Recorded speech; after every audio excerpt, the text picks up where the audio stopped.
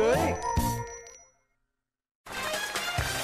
Quang Bảo và các Tường xin được chào mừng quý vị và các bạn. Chúng ta đang cùng đến với chương trình Yêu là cưới.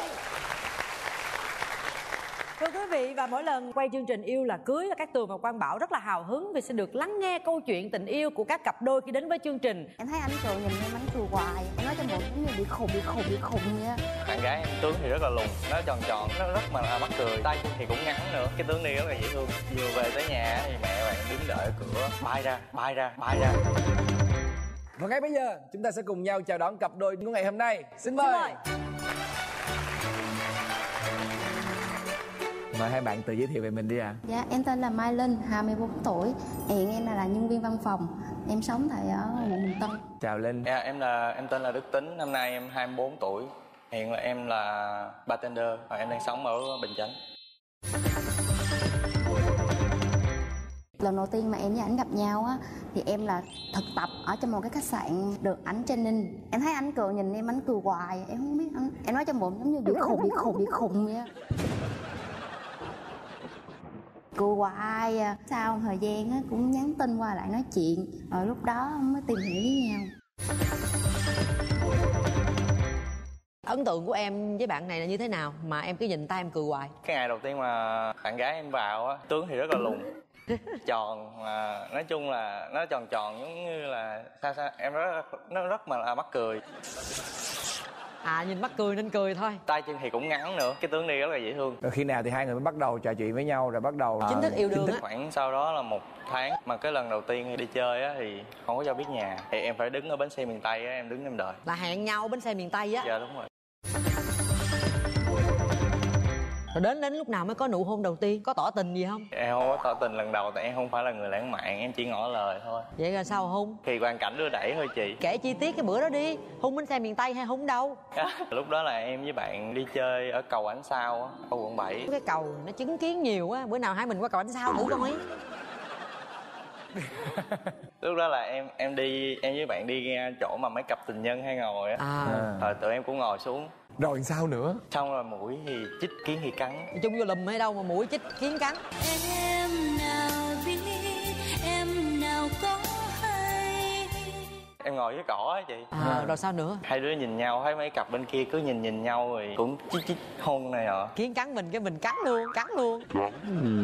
mình cảm xúc lúc đó nó dâng trào lên cái hai đứa hôn nhau Cảm giác của em lúc đó như thế nào? nói chung là cũng ngại ngại chị tại vì em cũng vừa trải qua một mối tình đầu Vậy là lúc đó em đã chia tay bạn chàng trai cũ rồi. Hai năm là em không có một À. người nào không Còn em, lúc đó em đang có mối tình nào không? và lúc đó thì em đang trong một mối mối tình Đang trong một mối tình, có nghĩa là đang có bồ rồi. đang có bồ nhưng mà sắp chia tay thì à, em à, đang rất là buồn vì cái mối tình đó nó không có như em nghĩ À, cho nên thấy cô này vui vui quá rồi hung luôn nhưng mà cái kia là chưa chia tay. không em, em là sau khi em chia tay rồi em mới quen bạn À à, chứ không phải là trong đó rồi em mới quen Cái lúc hung đó đó, cái lúc kiến cắn đó, đó là chia tay chưa? là chia tay được một tháng rồi À. Kỷ niệm tình yêu có chuyện gì vui buồn nữa không? vui là khi mà bạn biết em á là đang quen một người nhưng mà nó nó chắc chở mà bạn cũng vẫn chấp nhận là đến với em và nói là sẵn sàng chia sẻ với em mọi thứ còn cái chuyện là em tụi em quen nhau được hai tháng cái hai em có một bạn chung thì rủ em đi bia lúp bạn gái em á thì uống rất là nhiều Ghê vậy. Ghê vậy cho nên là em phải đưa về còn em cũng dở lắm em đưa bạn gái em về á thì lúc đó là cũng 12 giờ mấy rồi ra lấy xe là cũng gần một giờ Đưa về đâu? bến xe miền tây gì Cũng bến xe miền Tây nữa. miền Tây nữa Lúc đó biết nhà chưa? vậy lúc đó là biết nhà rồi. Sao không đưa về nhà mà đưa về bến xe miền Tây? đưa về bến xe miền tây rồi mới về nhà chị À là bến xe nhìn miền Tây là có nhiều cái nhà trọ ở ngoài bến xe miền Tây á phải không? Rồi tôi biết mà. Rành quá Tôi rành lắm. Đúng không? không em đưa về hẳn nhà luôn chứ em không có đưa về nhà trọ. Vừa về tới nhà thì mẹ bạn đứng đợi ở cửa bay ra bay ra bay ra. Bay ra. Dạ. Trượng cho một cái Trượng trượng, trượng cho một cái. Không ạ. Hợp em lại nói là hai đứa đi á có biết là ở nhà lo lắng lắm không? Muốn đi sức khuya như vậy á thì thôi kêu ba mẹ qua đây nói chuyện đi rồi muốn cho đi đâu cũng được hết á. Ghê. Ghê.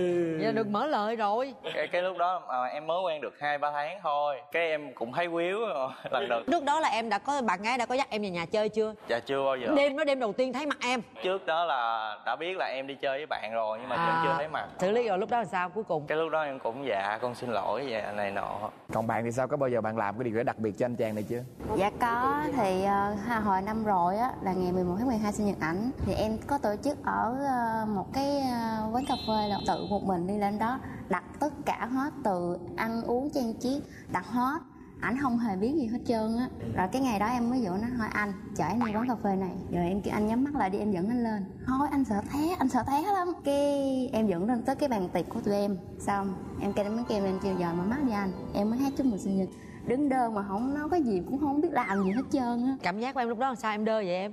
Ví dụ ta phải cười hoặc ta phải khóc hoặc ta phải ôm bạn gái hay là cái gì đó sao em đơ? Lần đầu tiên mà có một người làm tổ chức cho em một cái sinh nhật mà nó có ý, rất là ý nghĩa bước vô là em chỉ toàn nhắm mắt thôi em không thấy đường luôn. Phải chỉ có một người ẩm em lên thì được hay hơn. Trời ơi gì người ẩm em lên là sao? Đợi đó cũng gần 5 phút đó em không nghi à? Lúc đó em phải nghi rồi chứ. À, lúc đó là em em em đang nghi ngờ rồi. À. khi mà em mở mắt ra thì hơi bất ngờ xíu là tại vì bàn nó trang trí hình của hai tụi em từ lúc mà mới quen. Nhưng mà sao sao đơ? Ví dụ đẹp là mình có phản ứng lại làm gì chứ? Em bị hơi bị bất ngờ. Không có cảm ơn cũng không có hôn em ha. À, không hung không cảm ơn gì luôn. Rồi sau khúc đơ đó? Là vui vẻ bình thường. Dạ ăn xong rồi đi về. Trời ơi thôi đôi khi người ta bị bất ngờ quá người ta bị choáng ngợp á. Có mâu thuẫn biến cố gì giữa hai bạn không? Dạ có một lần là cái năm thứ hai 2016 của mình 27 2016 ảnh bị bệnh á rồi ảnh phải nhập viện mổ rồi sao em ở lại em chơi em cũng chăm sóc em cũng đút cơm cho anh ăn này nọ. Nói chung là trước đó là em đã có cái cảm nhận con gái rất là nhạy. Em có cảm giác như là có cái vấn đề gì đó rồi. Em vẫn biết là ảnh đang có một cái mối tình ở phía ngoài rồi. À. Thì vô tình bữa đó em cầm cái điện thoại em đọc à, nhắn tin với cái người đó không. Mà cái người đó thì hãy không trả lời. Cảm xúc em rất dâng trào là em chỉ muốn khóc thôi. Cái em mới kìm nén xuống. Em nói thôi anh em đi về. Là lúc đó vừa bước ra giếng cầu hai là nước mắt em tự động rớt rơi em khóc quá cho khóc em chạy một mình ngoài đường. Cái nhắn tin hỏi em tao nói giờ em mới nói là sao tại sao lại đối xử với em như vậy? Là bạn đó biết là em đã đọc được tin nhắn rồi. Dạ đúng giờ em thấy ảnh nằm bệnh viện cho nên em cũng không có muốn làm lớn chuyện. Lúc đó cảm xúc của bạn thì sao? Và cảm giác của em lúc đó là rất là khó chịu. Bạn nhắn tin với người khác mà sao bạn khó chịu? Tin nhắn cũng đã lâu rồi cái đó là của bạn gái nhắn tin với bạn gái cũ. Lúc đó thì chỉ có một mình bạn gái hiện giờ vô chăm sóc cho em thôi. Em cảm thấy là em có lỗi rất là nhiều. Lo lắng, rất là lo lắng mà không biết hiện giờ đang ở đâu mà lúc đó em không có đi được. Sau cái khoảng thời gian đó thì hai đứa cũng nói chuyện với nhau, ngồi lại nói chuyện với nhau cuối cùng là đã chấm dứt cái lúc đó là thật sự là đã chấm dứt với cái mối quan hệ cũ kia chưa? Giờ đã chấm dứt rồi. Bình thường trong cuộc sống là hai bạn có hay cãi nhau không? Vẫn có hay cãi nhau. Ví dụ như em đi chơi với bạn bè em hoặc là em đi ờ, tại vì em hay đi phượt nữa. Thời gian gặp nhau thì tuần gặp được một lần cùng lắm là hai ngày. Mà mỗi ngày chỉ có hai ba tiếng thôi. Bạn thì cảm thấy không đủ. Đó là gây lộn. Nói chung là ghen. Dạ không phải là ghen mà vậy như là em thấy tại sao á thời gian cho em á thì lại ít. Không có. Thời gian cho bạn bè thì lại nhiều. Cứ như là em cảm thấy là mình không có quan trọng bằng bạn bè ảnh mà bây giờ đã giải quyết được cái tình trạng đó chưa hay là vẫn vậy? Anh vẫn còn mê chơi. Vẫn, vẫn còn mê chơi. Thế hai bạn có kế hoạch kết hôn gì chưa? Tụi em định kết hôn vào tháng 11 nhưng mà bây giờ vẫn còn mê chơi. Khi cưới về xem ảnh như thế nào. Bậy rồi bậy rồi phải giải quyết trước khi cưới chứ tự nhiên cưới về ờ. Bây giờ là em á là chưa phải là của ảnh. Dạ. Mà ảnh còn như vậy khi mà anh cưới em về rồi đó là quăng em ở nhà một cục luôn. Đúng. Nói chung là cái vấn đề đi chơi á thì em cũng không có cấm hoàn toàn nhưng mà đi thời gian nào đó thôi, tại vì ảnh làm khuya thì em cũng muốn ảnh quan tâm đến sức khỏe của ảnh nhiều hơn. Nhậu không? Dạ không nhậu thì không. Chứ đi chơi gì? Ờ, em chỉ đi uống cà phê với lại nói chuyện. Lâu lâu đi lần chứ đi gì đi, đi hoài đi hoài à, đi tới khuya người yêu thì không lo. Tối em ra đi ăn rồi đi về à, chứ em không có đi chơi. Đi ăn Sao xong ăn bạn gái. Bạn gái em không ra khỏi nhà sau 10 giờ không có ra thôi nói nhà. chung là bạn sai toàn tập không có cái gì mà bên bạn được hết trơn á ha. Nhưng mà rồi bây giờ ngoài cái chuyện đó ra thì còn những cái khó khăn gì trước khi kết hôn không? Thì hiện tại á là tụi em cũng đang có ý định là kết hôn là sẽ về nhà mẹ em sống một thời gian. Dù gì mẹ em cũng có mình em là con gái à, gặp ở út nữa. Cho mẹ em đỡ buồn sau đó thì em tụi em sẽ có có một cuộc sống riêng của hai hai người. Thế bây giờ các bạn đã hiểu hết tật xấu của nhau chưa? Coi như bạn này là ham chơi rồi nè. Rồi bạn là Linh thì có tật xấu gì bạn muốn Linh thay đổi không? bạn hay có cái tật là hay suy nghĩ lung tung hay với là hay kiểm tra tin nhắn của em coi là em có nhắn tin với người này người kia hay không? Tại vì em bị mất niềm tin quá người ta mới vậy. Em đi với bạn thì cái suy nghĩ này nọ rồi hai đứa lại gây nhau vì cái chuyện mà bạn bè cũng không đáng. Thì em cũng thấy là cũng nên giảm bớt lại cái chuyện đó. Còn em em à, mong muốn bạn này thay đổi điều gì không? Em chỉ muốn ảnh là bớt chơi với lại nghĩ tới sức khỏe mình nhiều hơn. Mỗi lần giận em mà không vừa ý em thì thường bạn ấy làm gì em? Không nhắn tin không trả lời tin nhắn. Hủy kết bạn facebook với em luôn. Hủy các bạn facebook luôn? Chặn tin nhắn luôn. Xong rồi sáng bữa hôm sau là nói với em là tại sao em lại chặn facebook của bạn? Coi như là không có thường cân tay chứ không có ngắt ngéo giết gì hết trơn á hả à, ngắt nhéo thì có tại vì thường thường là em bị ngắt cái gì véo véo da bị ngắt véo hả Dạ. đấy ngắt mạnh hay ngắt nhẹ ngắt giống như là chị nhổ nấm vậy đó trời ơi vậy luôn á hả vậy là cục cục cục cục cục cục cục cục cục cục cục cục vậy luôn trời ơi vậy còn gì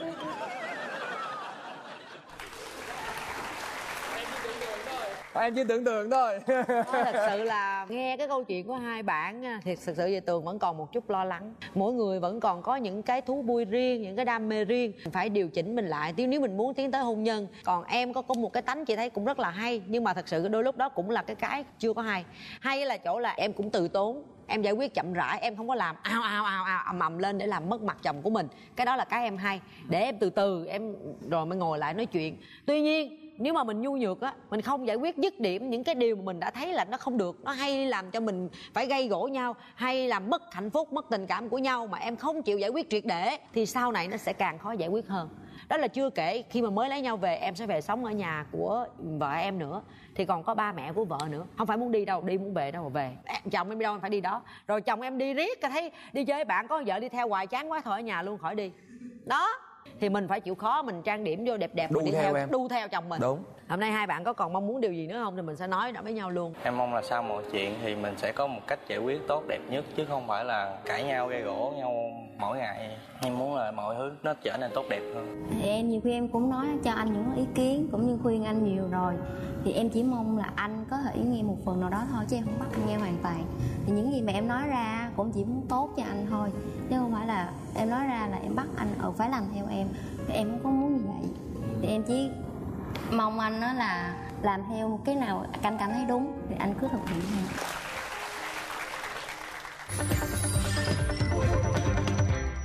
Dạ thì em cũng có một cái um, món bất quà. ngờ. Dạ. Em mà luôn luôn mang bất ngờ cho ảnh đúng không? Rồi ảnh thì ở đó em kêu anh cho em có cái cầu hôn. Thôi anh không có lãng mạn đâu em đừng có trông chờ. Chọn nghe xong như tạt nước trong mặt em vậy. Rồi mời em. Nhắm mắt lại nữa đó.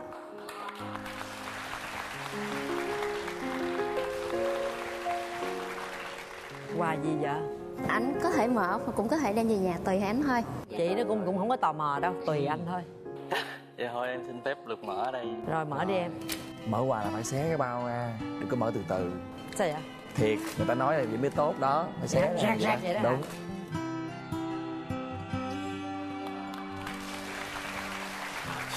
Anh rất là cảm ơn em vì cái món quà này hôm nay em làm cho anh bất ngờ rất là nhiều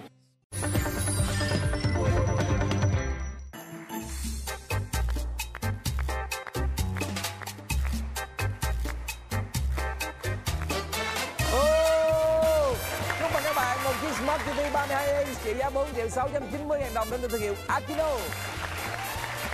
Rồi, có TV mới coi rồi nhá. Rồi, Chúc mừng hai bạn. Cảm ơn hai bạn. kính thưa quý vị và bây giờ thì thời lượng phát sóng của chương trình đã hết Cảm ơn quý vị rất nhiều. Xin chào và hẹn gặp lại. ạ.